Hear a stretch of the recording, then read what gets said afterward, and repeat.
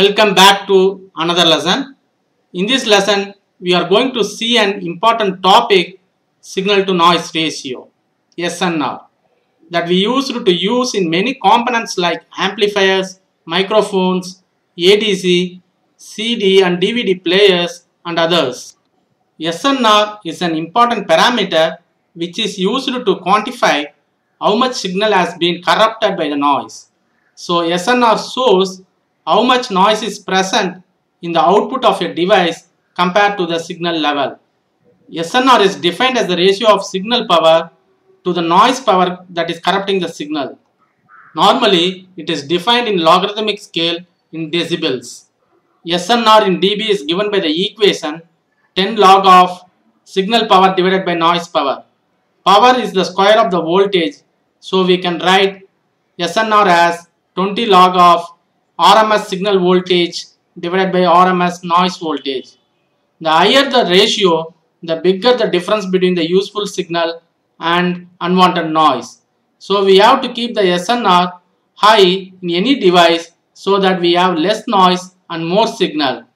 Next, we will try to find out the SNR of an ADC. We need to know the RMS signal voltage and RMS noise voltage to find out the SNR value.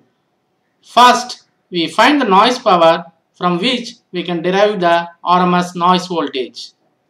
Since the quantization noise fall in the range minus del by 2 to plus del by 2, we can find the noise power by the equation 1 by del of integrating q squared from minus del by 2 to plus del by 2. After integration, we get q to the power of 3 divided by 3. Then we apply the limits minus del by 2 to plus del by 2. We can further simplify it and finally we get del square by 12 which is nothing but the noise power.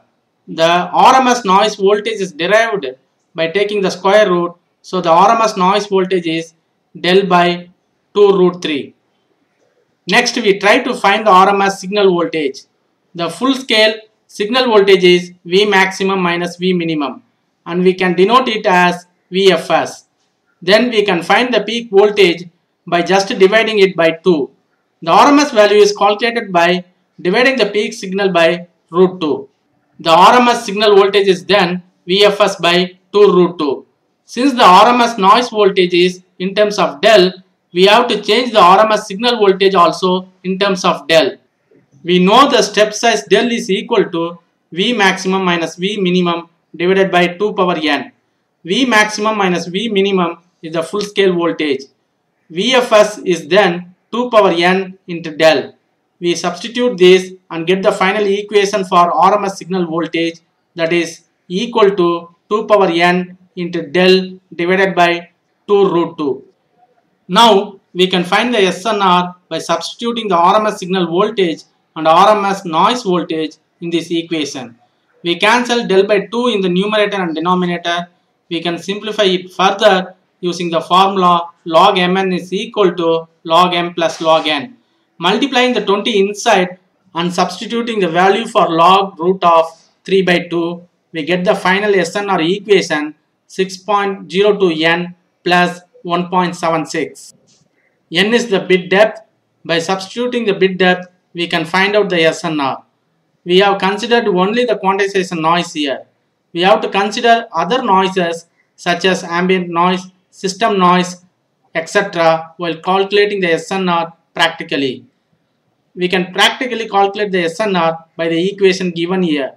x of n is the nth sample value and QE of n is the quantization error after quantizing the sample x of n.